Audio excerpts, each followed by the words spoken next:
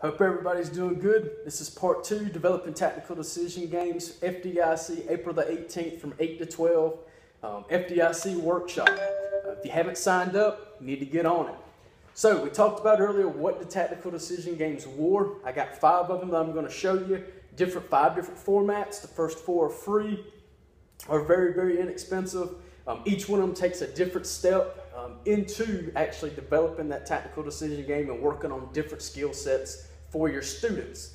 It can be used at the fire station, company officer can put it together, senior officer put it together, or senior firefighter, or it can be something to be implemented at the fire academy.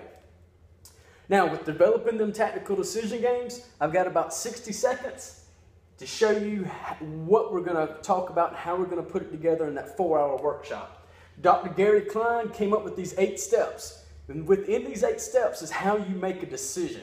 And when you go up to a situation, these are the processes that you go through, even if you don't necessarily think about it. So, what we want to do is to take these steps and plug them into this training scenario to make sure that you hit every one of them so you're building your decision making capabilities while training.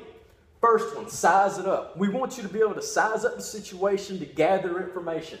Determine is it typical what you see going on? Is it typical of what your experience and training has, has told you it should be?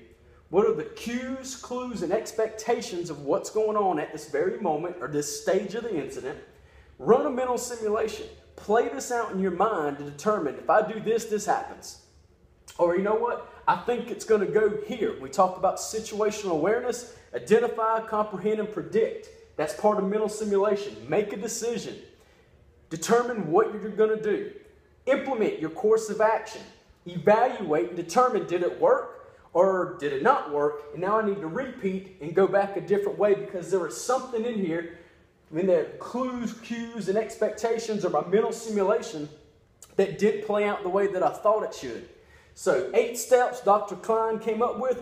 We're going to teach you in the four hour presentation, FDIC, April 18th, 8 to 12 uh, workshop how to take these eight steps, plug them into your tactical decision game so you can take them back to your station, your fire academy, train your people.